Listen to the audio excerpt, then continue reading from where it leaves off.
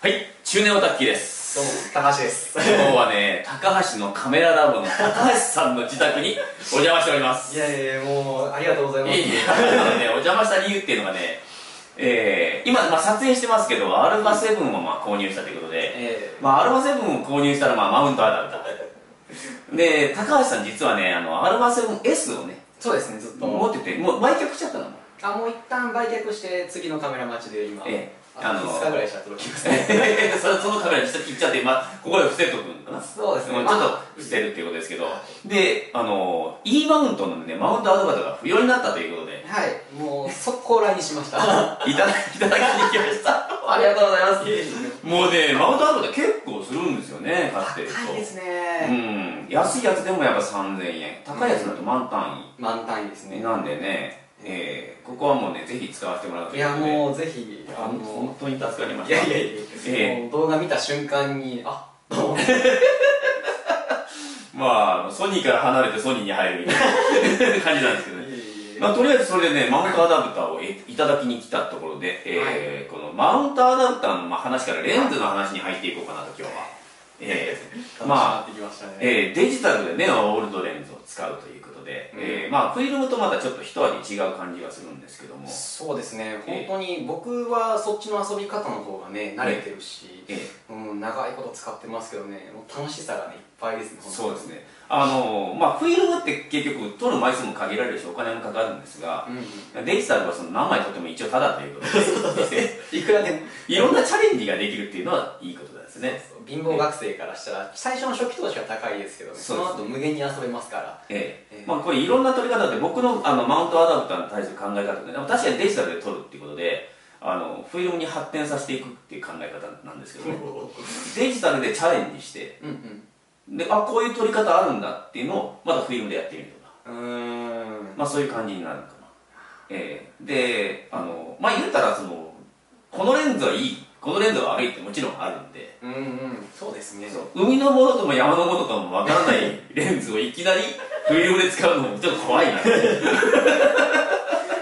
いない。そういうところもまあまあいいのかなっていう感じですね。そうですえ動画の中でもね、言ってらしたように、ええ。うん、そういうふうな使い方が多分一番、まあ、正解に近いんだろうなと。そうですね。まあこの間ね言ってたあの FL50mm の F1.4、えー、二次ゴーストが出るっていう。うん。で二次ゴーストの出し方がわかんないと。それをフィルムでやるのはどうかなって話になってくるんで、ねお金いくらあっても足んないって話ですから。そうそうそう。えプレビューなんで条件変えながらねそうそう。ずっともうぶっちゃけた話、撮る前からもうちょっと結果が分かっちゃうもんね。そう。うんそういう意味ではやっぱデジタルにそのマウントアダプターでオールドレンズを使うっていうのは美味しい、うん。えー使い方だと思いますね。そのフィルムで撮る一歩前に使うっていう撮り方もできるし、まあ、ずっとそれで撮ってもいいんですけど、えいやもうでも完全に変態の発想でなんですー ちょっと普通の人では考えないだってあのフィルムでうまく撮りたくてデジタルを練習用にって買う人はいないんですよ。ああいないかもしんねえな。本当に。まあ僕のメインの目的はあれですよ。えっ、とそのモノクロで撮ることが多いんで、うん。カラー作例を出せないという。ああそうですね。ところがメインかな。でカラーさねカラーネガでも撮っても撮りゃいいじゃんっていう話もあるんですけどそう高いしね。で時間もかかりますし2あ本今フィルム2本撮るっていうのは結構時間かかるんで、そうですね、うん、カラー作例数枚欲しいっていう時にフィルム1本っていうのもどうかなっていう。ちょっとそれはそうなんですよね。ねね。だからちょっとフルサイズデジタル欲しくて、まあ、ようやく購入して。まあほんで本当に何のタイミングですかねこれね。ねえ、うん。いや数奇だなと思って。すごく別に示し合わせたわけでも。ない何にもないですよね。本当に偶然なんですけど。そうそうそう。僕が売却してで新しいの注文して「よーし来るぞ」ってこうで こう揉んでたら「あれ？今日の動画ええー」とアルバセブン購入しました。早く連絡しなければ。マウントアダプター買っちゃう前に早くあ買ってるそうもう1本買っちゃってる。あじゃあニコニコとりあえず置いときます。まあそんな感じでね今日はねもう美味しい、えーいただき物をしたという、はい。えーことになります、えーで高橋のカメララボさんではそのもうすぐ届くカメラ、ああそうですね。えーあと数日後に届くカメラもちろん開封動画かなんかになってくるのかな？そうですね。おそらくそうなると思います、えーというわけでねあの高橋のカメララボさんがね新しいカメラどんなカメラを買ったのか、えーアルファを売って買うカメラは何なのか？いやー本当にねえまあそんなにハードル上げないでいいやでも本当にね僕の本当ただ趣味に走っただけなんで実あは今後の実用性あんまり考えてなくてどどうしようみたいな。あえもしかして EOSR5 とか？いや待ってください。すごいなあすごいなあハードル上がったなハードル上がったかハードル上がったかいやいやすごいでもねあれもカメラですよねねえちょっとインパクトがねすごいですね。たですね。てかキャノンやっぱ商売上手っすよ。そうあれ発表されたタイミングとあの広告をバーンと出したみたいなあのレンズもね急にでそう。もちろんねスペックすごいんですよ。スペックすごいし価格も安いしまあ安かないんですけど そのスペックにしては安いそうそうそうそう。うん。でその売り込み方がうまいっていうところはねああさすがキャノンだなっていうところはありますね、うん。当日僕働いててその日にやっぱりうん。もうカタログ一気にバーンってきてうわあーと思ってでも見たらもう口あんぐりですよ本当に。あいや本当ね僕ねあの本当に思い出すんですね。EOS650 が発表になった時のことを思い出しました、ああその時もですか？すごいガーンと。そうガーンときました。テレビコマーシャルもボーン出して。おーおーおー。ええ。その時も相手もアルファだった。んです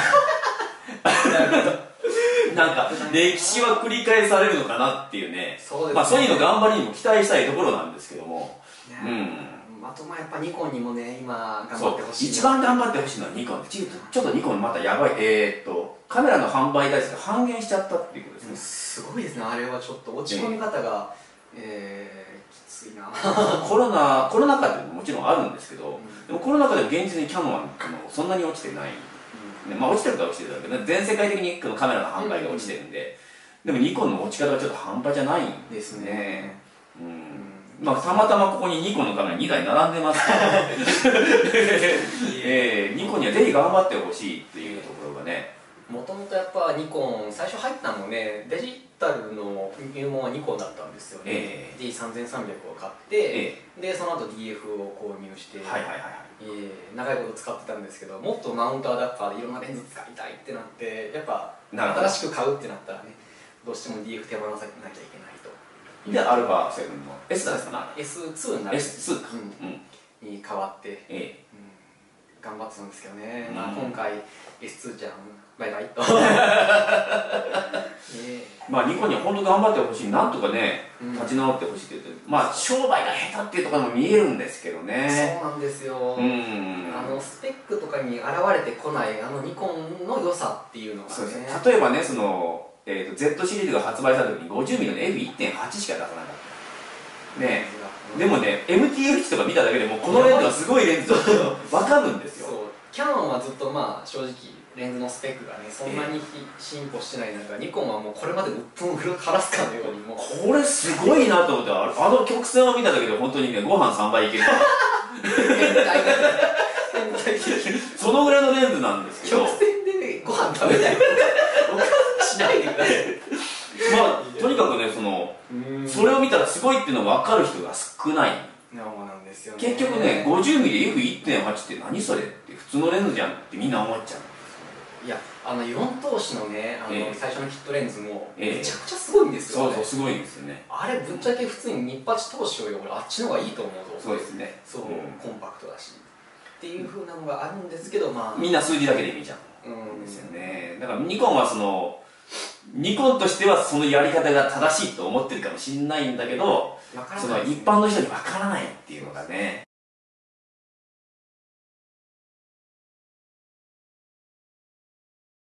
そんなわけでねバッテリーが上がってしまいましていやーまあ僕買ってすぐっていうのもあるんですけど電池50%あったんで50%あったらそこそこ取れるだろうと思ったんですけどいやーねもうなかなかそういう10分持たなかったぞみたいな。50%で10分持たえ多分ねその100%の時はもっといけると思うんですよね。あー。20何分の動画をその100%から作ってあで上がった時80%ぐらいだったんででその感覚でいけるだろうと思ったら50%がなんと10分で終わったと。あでも確かにねなんか、70%ぐらいまで100から70までの減りとそこから後の減りなんかねちょっと早い気がするんですよね、まあ、ソニーのカメラ使う方は要注意です。ええ。まあちょっと経験が浅かったということで。まあニコンの話なんですけどね。もうそのね、ニコンが苦しんでいるという話だったんですけども、えー、どうやったらね戻っていくかっていうのがね。うん。まあ基本的にいいカメラを出してまあ基本いいカメラだとは思うんですけど、うんすごい。ね。レンズもものすごくいいものがある。ただ一般受けしにくいっていうそうなんですよ。要は商売が下手くそっていうね。食い物屋でもそうなんですけど味がうまくて流行ってない店なんかいくらでもありますよ。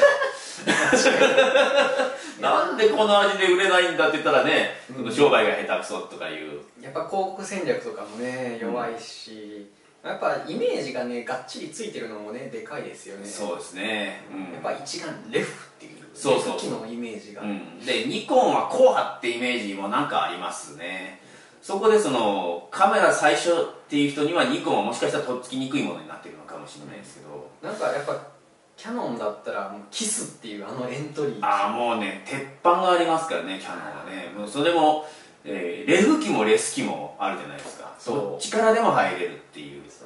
う。ん、M10 とかね可愛いやつがあって。そうですね。女優さんとかこうねこう可愛い感じで撮っててっていうのがあるけど、うん。ニコンはそれはないね。ないですね。今エントリー機って言ったら何になるんですかね？50Z50 Z50 は結構でも売れましたよね。売れましたね。Z50 は売れた、ううん。ん、ニコンのヒット作になりましたねあれもね、うん。まあすごくいいカメラでしたしね本当に、うん、僕も Z50 のこと実はあんま詳しくないんですよ。あそうですか、うん。ちらっとしか見てないんですけどああ牧宮さんの動画とかでね絶賛されてますけどね。あのやっぱねあのレンズが僕はヒットの秘密じゃないかなほううん。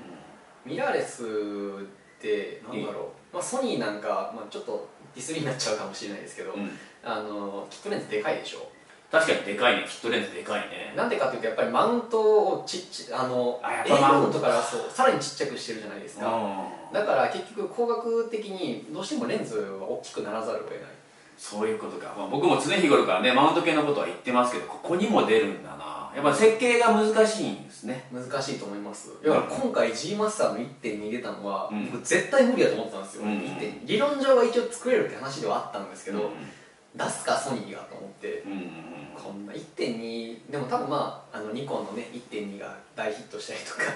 うん。いやあのそれはもう MTF 値ちょちょっとまだ見てないんですけど、いやもうベッタ好きですよすごい。うん、本当にね。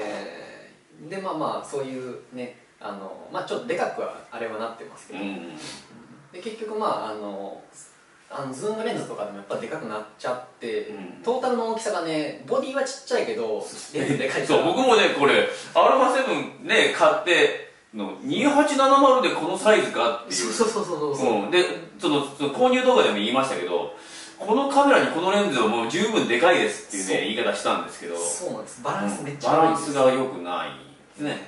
うんでまあちっちゃいズームレンズの沈胴式のやつがねあったりはするんですけどスワイスなんで6万ぐらいしますしね。そこ行くとやっぱニコンはそのマウント系がね一番でかい。そうマウント系でかいし、うん。あの画質を確保しながらあんだけレンズをコンパクトにしたっていうのはねやっぱすごいと思います。うまいってとこですね設計。はうまかった。まあでもそのソニーの技術はかわいそうっちゃかわいそうなんですけどこの 46mm のマウント系でこうこのレンズ作れみたいな。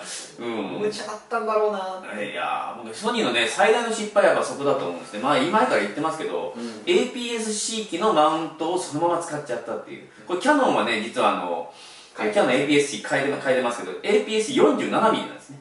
EOS-M マウント、うんうんうん。であのそのまま行こうとしてたらしいです最初は。あそうなんですか？M マウントで行こうとしてたらしいです。え。でも無理があると。えいやもう絶対そうだと思います。そう無理があるから R あ RF マウントちょっとを作った。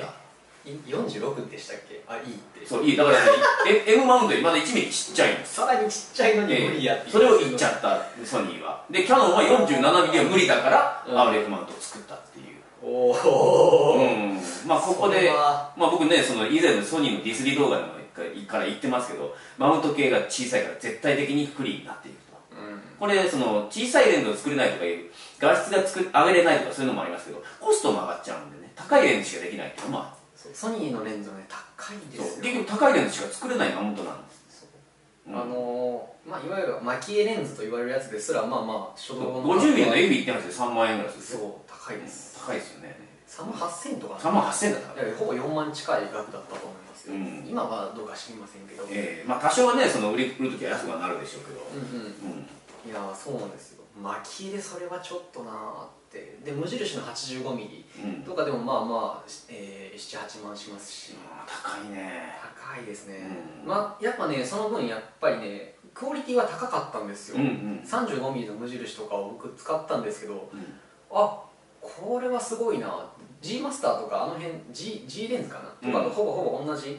最新の AF の設計になったんで、すっごい動画も撮りやすかったし。写りはね悪くないと思う。このレンズもね2870のマキエレンズで、うん、写りはいい。確かに写りはねそんなに悪くないいんですけど。まあでもそれ以上にそう値段値段とかそのね大きさとか。まあそのせっかくねボディがちっちゃくてもねレンズがでかかったらあんま意味ないし。そうそうそう、うん、あのフランジバッグこれまで稼ぐためにこう入ってた、ええ、あのレンズがあるじゃないですか、はいはい、あのまあ、要は後ろに鏡のね分。ミラーの分この後ろに伸ばさなきゃいけないから一回また設計がね難航してそうそうそうっていう流れがある中で、まあ、じゃあ逆に言ったらフランジバッグが短いってことは本当はもっと縮小できるはずなのにそんな変わらない大きさああんまりね、うん、いや結局無理はあったっていうのは事実なんでしょうね、結局ソニーの設計はその現状ではねボディをちっちゃくしたかったっていうのでマウントもちっちゃくしたしたかったんだろうけど、うん、でレンズは大きくなっちゃった。でボディはちっちゃい弊害がある、うん、ちっちゃく作れば故障が増えるっていう、うん、それもうダイヤル操作系とかにも出てますけど。だからどっちもデメリットがソニーはあるんですね。確かにねでも前の動画でも言いましたけどその小さいボディが必要な人にはソニーのカメラ絶対必要とは思うんですけど。日本人の手にはねよく馴染むでしょうね、うん、でオールドレンズにも似合いますしねいやそうなんですよね。オールドレンズはその昔のカメラでちっちゃかったんでそのレンズをそのソニーのアルファにつけると確かに似合うんですよ。特特にまあどっかで僕言いましたけどあのライカのエルマーを、うん、EOS1DX につけるとか。あれはちょっと。もうそれはないぞみたいな。いや無理まあまあ、まあ、つかないんですけど、うん、まあそれはちょっとないぞって話ですけどでもアルファだとまあ似合うそのそこ僕それこそ最初に出した動画が多分ねそのエルマーをつけて、うん、あの α7S につけてこうちょっとまあ取り歩くみたいな動画出したんですけど、あれがねあの一眼レフ機でやろうと思ったらまあそもそも不可能なんですけどそうですね、うん、絶対にあのフランス的にはね不可能だし。そうそう。絶対におかしなことになるんですよね見た目がちなみにあのエルマーをつけつけるって今からつけるっていう人はあの振動させないでください、ね、本当にね。本当あそれ本当大事なんですよ。あのフランチバッグ稼いでるけどあの結局ね あのガラスにあるから、ね、そうそうそう。当たっちゃうんですねセンサーに当たっちゃう、うん、そう。センサーがダメになっちゃうんでね。振動させたらはい終了ですから、はい終わりです。10万パー。パーですね。本当に。いやでもねまあそのニコンさんの話に戻りますけど、うん、うん、まあ、その設計はいいんですよね。Z マウント、えー、ちょっとチャレンジングな設計をしたということもあってフランジバック 16mm ですか？すごい短い、でマウント系が 55mm だったかな？58 58だったかな？どっちだったかな？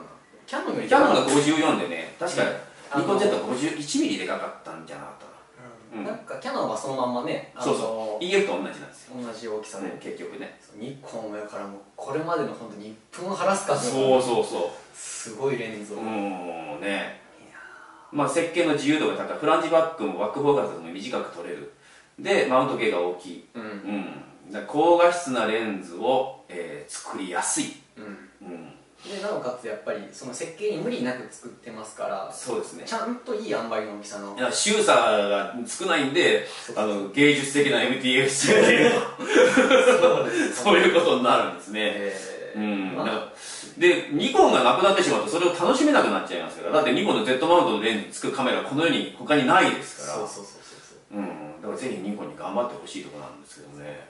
いくらねシグマとかやるよとか言ってもやっぱり、うんなんかね心の中でニッコールがいいなって思うんですよ、すごいシグマが今ねじゃシグマのレンズは確かにねもう昔その僕のチャンネルのね視聴者さん特にね年配の方が多いんで、うん、多分シグマってあの安物のボロレンズっていう もうもうついてる人がいっぱいいると思うんですけど今のシグマ全然そんなことないです。もうアートシリーズなんかととんでもないいい絵が撮れるんですよね。ありえないぐらい本当に。もうプロカメラマンも相当な数使っているというレンズですけどうん。でまあアートをこうねあの監視なりコンテンポラリーとか、ええ、普通のやつもまあクオリティ高いですよ。そうですね、うん、まあ、個体差はちょっとある気がします。まあ、まあ、そそこはやっぱりねサードパーティーメーカーということになるんでしょうけどね、どうしてもやっぱりでも最高品質のものは本当にすごいと思います、うん、でもまあそれをさらに上に行くのがニッコールですねやっぱね、ニッコールのレンズはすごいですよ、本当に。いや。まあこれはねもうそのカメラのこと詳しい人なんか誰でも知ってることとは知ってることなんですけどね、ただボディがその一般受けしにくい、まあ、レンズもスペック的に一般受けしにくい。そ,、う。ん、そしてまあ Z6 の時 Z6、Z7 で一番失敗したなと思ったのはシングルスロットの CF そうなんですね。あ違う XQD 監督 XQD ですね、うん、だからカードの金は高いわ。そのシングルスロットだわ。ねそう。もう選択肢それしかねえのかよっていうねでまあ、あれを画像処理してバッファとかのことを考えたらどうしてもそれじゃないと生かしきれんっていう発想になったのかないや考え方はニコンとしてはね結局ねあのハイクオリティなものを作ったらこれしかないっていうねその硬、い考え方なんだと思いますよね。ちょっと柔軟性がないっていうキャノンとそこ全然違いますよねそうです。コンセプト。結局常時それでいいけっていうことかみたいな。そうそうそう。そのクオリティがずっと求められてるわけじゃないんだよ結局ねそのプロカメラマンみたいな人がばっかりだったらそうなるかもしれないけどそのいろんな人がいますからね選択に幅を持たせるっていうのは大事だと思うんですけど、うん、ニコンはその考えがなかったということですね。で結局売れなかったすぐに2を出すはめにみたいな、うん、いやでも2はね僕もっと早く出ると思ってたんですね正直。あれ2年弱ぐらいか。そうですね、えー、3年67が出て2年ぐらいか。う。ん、うん、僕もっと早く2がだからまあ本当にあのアルファなんかはすぐ出たじゃないですかすぐって、うん、アルファ 7R3 から R4 まで1年何8か月だったっけ？すごい早かった。早いですね。そんなもんでした、うん、であであのー、まあ3からはちょっとね空いてますけどね、うん、でもこうだから出して反応を見てそこを潰して新しい、ちょっとまあグレードアップしたものを出す的な意味でのやから様子見の機械だと思ったんですよ最初6っていうのは、だからまあすぐあれなんだろうなって新しいの出るんだろうなと思ってたらもう待ちにも待って そこまで待たせるかそんな待つ？みたいなでもね2が出ても結局バリアングルになってないっていうのが痛いまあ、ニコンとしては映像撮るんならねあの外付けのモニターつけるだろうっていうぐらい。まあその感覚なんでしょうけど。でもまあ Z7 と Z6 はやっぱちょっとその味付けで差をつけてほしかったってところはありますけどね。ね。Z7 がチルド式なら Z6 は別にバリアングルでもいいじゃんっていう、でさっきのね、まあ、この動画を撮る前にも話したんですけどもしバリアングルが壊れやすいっていうんだったら、ね、簡単に交換できるような構造にするとかね。ももはやもう差し込み式とか差し込み式ね。そしたらもうねバリアングルモニターを注文しただけでね簡単に交換できるみたいな。そう。いう構造にすりゃいいんじゃないかっていうね。ねうん。まあまあちょっとコストは高くなるかもしれんけどそれでねね。こう壊れて全部パンになるよりは。そうそうユーザーが安心して使えるという意味では全然ありな選択肢だと思うんですけどね、うん、それこそモニターでちょっと大型のモニターをつけるっていうのも簡単になりますし、ね、そうですね。多分ねその簡単に壊れても簡単にバリアグルモニター交換できますって言ったらそれだけで買う人いるかもしれないです。わかる。これはいいっつって。めちゃめちゃ欲しい、うん、オズモポケットに僕撮るときスマホをこうあのそういうモニター代わりにこう差し込んで撮るんですけど、はいはいはい。あれねやっぱこれをつけてもあの iPad Pro をつけて大きい画面で見るとか、そういうふうな選択肢も生まれてくるんですよ、そうですね、うん、で持ち運びもすごい楽だし、うんうん、そういうのがあればいいのにな。と まあだからその結局そのニコンの設計っていうのはユーザーを絞った設計になっちゃってるんですね。うん、めっちゃ好きなんですけどねニコン。ニコンのカメラがいいのはもう間違いないです。特にねもうレンズに関してはちょっと特に Z シリーズはねもう右に出るものがないないです。F のあんなし、ね、あの縛られた状態いや僕もねその F マウントのレンズでこんな解像度だったら Z マウントのレンズどうなるんだっていうのを Z シリーズが出る前に話したことあるんですけど、うん、本当にその世界だったんですよね。ものすごいももう最初のキットレンズの時点でもういやもうもう本当ねあの 50mm の F1.8 の MDF 値なんかこれは嘘やろって。絶対嘘やと思いますこれ冗談冗談やろこの数値みたいな数字が出てますからね。そう、うん、すごい周さなんかないですよね。ないですよ。ないですもんね。なんだこれは。俺の目より絶対正確やぞこれ。自分の目よりそう肉眼より正確っていう、うん、そんなわけでね、まあ、あのここまで話したら多分ニコンのカメラ買うっていう人もいるかもしれないですけどそれぐらいいいんですよねニコ。ンう。ん。間違いない。もうもう撮らなくても分かるっていう。そう、うん、絶対性能がピカイチなのは分かってるんです分かってるんですけども、設計的に言うちょっとユーザーを絞っちゃってるっていううん。ああニコンいいけどバリアングルねえしなとか。うん、まあそのカードの選択肢まああの2はね SD カードも選択できるようになりましたけどまあなんとかそこはっていう話ですけど。そう、うん、なかなか。もっと売れてくれないと困る。困りますね。困る。うん。それこそあのプロ向けの機械なんてねあのあ5とか D5 とかだったら、はい、あのシングルスロットあ間違えたシングルスあの CFL タイプと SD カードのタイプ分けて選べたりしたじゃないですか、そうそうそうそうだから、まあ、そういうことでもよかったんじゃないかなって。ななんでって感じですあのシングルスロットでね、しかもね高価なカードを使用しなければなら ならないっていうね。あ1個で普通の巻きレンズ買えますから、ね、買えますからね。カード代高すぎんだろっていうね。うん。まあそんだけスペックが引き出せるっていうのはすごいよくわかるんですまあわかるんですけどね。うん、うんまあ普通に買ってる分でやっぱりリーダーの問題もありますしね。そうですね。でねプロプロプロ用のカメラだったらまだ分かるんですけど、うん、まあだから Z7 までは分かるけど Z ロックはちょっとそのちょっとコンセプト違います、ね、かなり一般ユーザーが入ってくるであろうっていう価格帯のカメラですから SD カード搭載してるのは当たり前と言っても過言じゃないっていうと思うんですけどね、うん、Z5 が発売されてあれは一応ね SD なんでうん、あいいなと思ったんですけどほぼ Z6 と変わらないスペックが。そうですね。Z6 の立ち位置は？立ち位置が分かんなくなっちゃった。分かんなくなっちゃったな。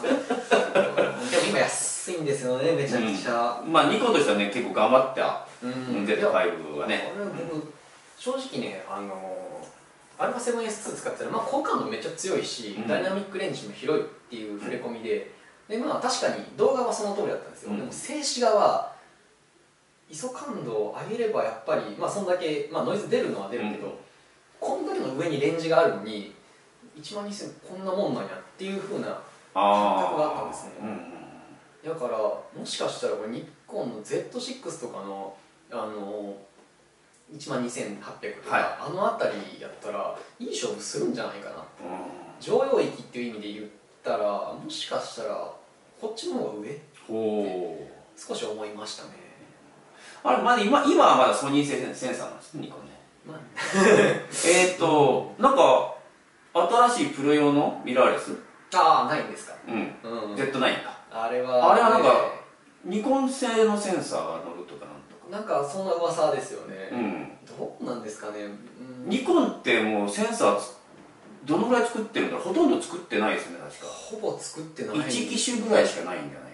うん、それこそ今までフラグシップもね頑張って作ってたのもそうですね。今今ソニー製になってるでしょ？うん、うん、ダメ ダメってわけじゃないんだけど、うん、まあそれをプロ用にそのプロ用として作る Z9 に搭載してきたということはかなり自信のものができてきたんだろうとは思うんですけどね、そもそも増面位相殺 F の技術持ってるのがちゃんと持ってますしねそうですね。うん、よくねそのコメントに入ってくるんですけど、はいはい、機械屋のカメラだっていうねコメントがよく入ってくる。あああ確かに言ってることがね分からないともない。分からなくもないけどでも作る技術が実はあるんですよねちゃんとねうん、うん、なかなかいやまあそれ出てみないと分からないですけど、うん、うん、ちょっと Z9 にはまあ期待ですけどね。プロ用のカメラというと販売台数は稼げないでしょうけど。うん、うん、いやでもねやっぱりなんだろうテンション上がりますしね。そうですね。そういうやっぱフラッグシップ機があったあってこそのその普及機なんでね。そうそうそう、うんそういう意味だったら普及機が今ないんですよね。そうですね、えー、Z50 は一応普及機扱いにはなりますけど。でもあれ元のラインで言ったら7000とかあっちの系統に相当するそうそうですね。画質的には、うん、ハイヤマというかね。そうです。ハイヤマになりますね。うん、うん、だからニコンとしてはまあ、まあ、ニコン1とかねもう失敗しちゃって。俺ニコン1がね一番あれほんまに成功してほしかったカメラなんです嫌なんですけどね。最高じゃないですか？ちっちゃくてちゃんと。あれを APS-C で作ったらよかったんですけどね。あいや僕ねあれ1型やったからよかっただからこそよかったか。うん。だってもう明らかじゃないですか。まあ確かに。あの小ささと。小さいえ小ささがまあ売りですよね。でまあ言うば300ミリをつけたら2.7倍ですから。800ミリとか。と そそれはちょっと極端なあの発想になってきますけど。そうそうそう。まあフォーサースで2倍ですね。そうそうそう、ん、もうね。2.7倍。バカなことができるんですよ、あれは。まあ確かにね、うん、あれに600ミリとか800ミリとかつけるっていう発想もすごいですよ。楽しいですねそれ。やってみて。は600ミリつけたら2.7倍ということは、えー、6742だから。まあまあほぼに3倍近い。2000, ミリぐらいになってそうですね2000ミリ近い。2000ミリのレンズ。バカなんじゃないか。なあいつレンズだけで持ってんぞっていう。だってカメラついてるかとかわかんないです。よねやばいなぁやばいね。楽しそう。うんやりたい。かなり変態カメラになりますねそれね。いやもうね、ちゃんといやそうちゃんとねそれをねあの600ミリ借りた時に思いついてればね。あああれ F マウントでしたっけ？あれ F マウントです。じゃあもうすぐに作るじゃんそうなんですよ。やっちゃった。やっちゃった。美味しい機会逃しあた本当ですよ。ニコン1に600ミリつけてみたら楽しい。どこを盗撮するんですか。いや本当にねもう多分対岸から狙えますからね。向かいのマンション。てかあのアンドロメダ星雲とか撮れそう。いやー。月もいいいいのがねもうあ月もねクレーターを結構大きく撮れるんじゃないかな。完璧でしょうね。うん。今あの星のねその写真天体写真はね、えー、とオリンパスをね使ってる方がかなり、えーフォーサーズということもあって多いと思いますけどニコン1で月を撮る。楽しそうですね。ああすごいきますね。いいですねまあでもやっぱちょっとねあの開発が J5 で終わっちゃってますから、うん。どうしてもあの頃っていうとねそんなに感度も上げられないし。そうですね。うん。であの手ブレ補正はねあのレンズ側でやってたんではいはいはいはい。あのボディには搭載されてないんですねニコン。ボディ側テーブル補正っていうのは結局ペンタックスとうんうん。ミノルタか。そうです。最初に始めたのはね。どっちが先かちょっと分かんないけどどっちだったんですかね？ペいンでも世界初ってペンタックスのイメージ。ペンタックスだと思う多分ね。うん。一眼レフでボディ側のねそのテーブル補正やったらどうやってやってるんだっていつも思いますけど。わかります。そういうこと？センサーが動くそう。そうですね。えみ見えてるやつは？どういう？もうもう謎謎としか言いようがないんですけどもね。面白いですね。それこそあれですね、その一眼レフでボディ内手ブレ補正が入っているアルファ7デジタルを今ああそれであコニカミノルタですね。そうなんですよね、これねかかなりレアなね、えー コニカミノルタの、えーデジタルカメラですね。僕初見です。これ APS-C APS-C ですよ。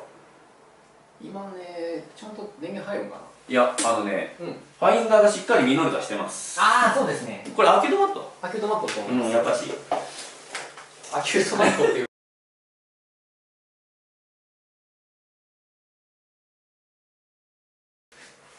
はい、えー、今度はメモリーカードの容量は？2度目だめ2ちゃ度目の仕切り直し。いやめちゃめちゃ盛り上がったから気づかんです気よづかないんですよね。っていうかねあのもうちょっと音鳴ってほしいですね。ああそうですね、えー、もうできれば音声が出てほしい。シュワンって思ってます。止まりますよ止まりますよとかくれ まあこれちょっとねあのソニーの α7 で撮ってるんで、うん。あのバリアングルじゃないんでねその映像を確認しながら撮れてないんでね。まあどうしようもないと。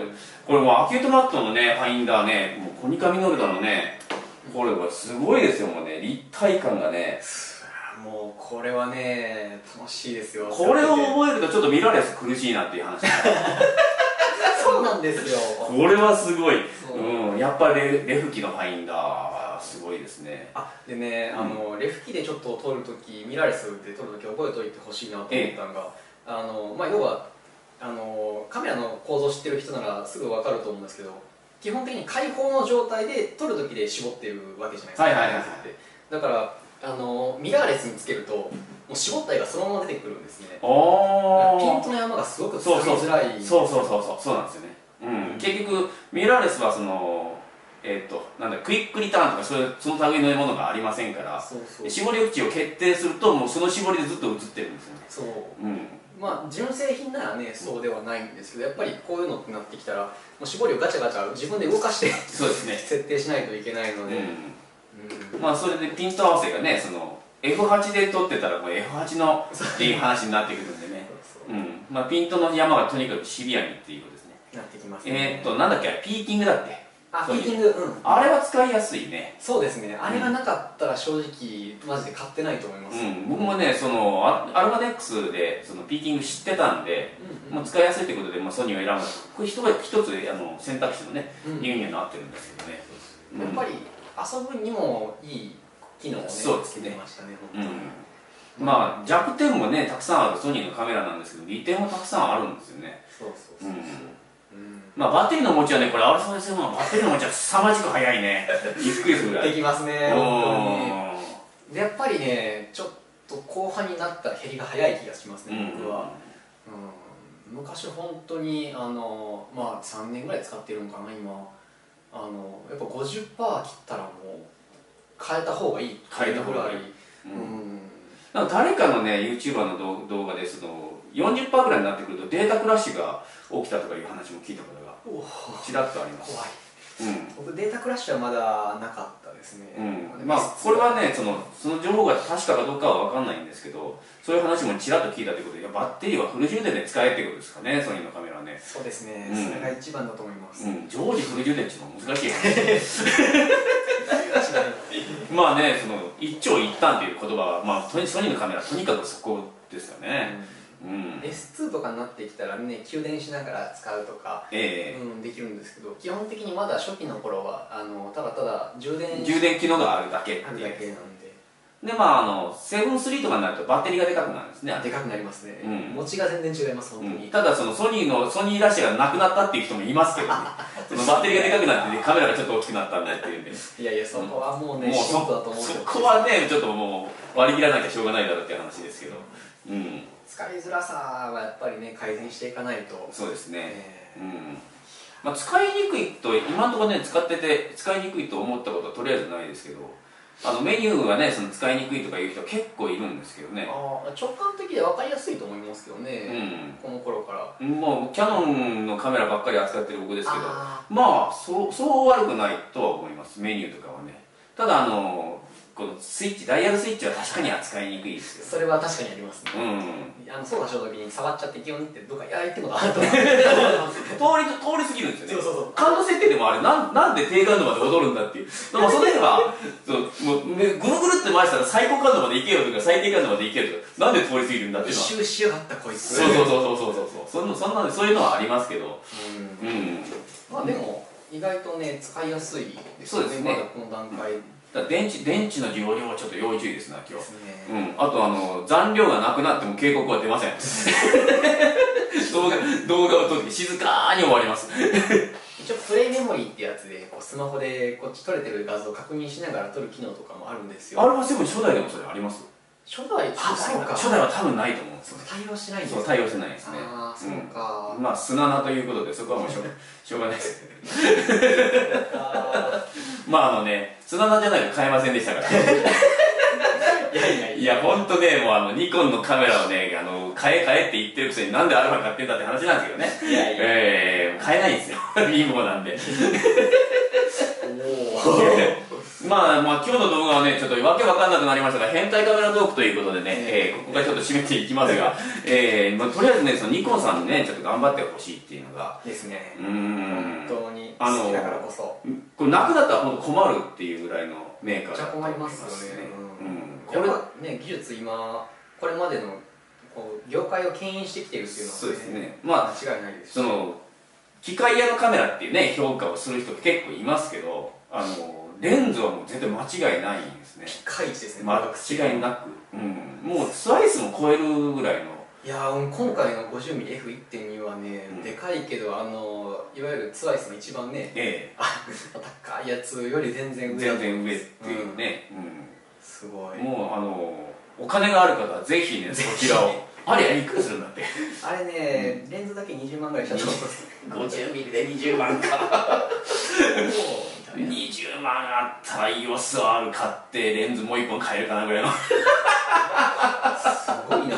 まあそれ言ったらおしまいなんですけどえー、もうちょっと異次元のね映像、えー、写真を楽しめるということでね。映像体験ができますね、うん、ちょっとお金に、えー、余裕がある方はぜひニコンのカメラをご検討いただければと思います。ぜひ買ってほしいです、えー、別にね僕らねニコンから1円もお金もらっておりません。本当にね 好きで使使ってただけなんでそうですね。もうあのニコニコのカメラいいのは間違いないと。思うそれはもうフィルムカメラ時代から今まで変わりないと思いますんでね。本当に。はい。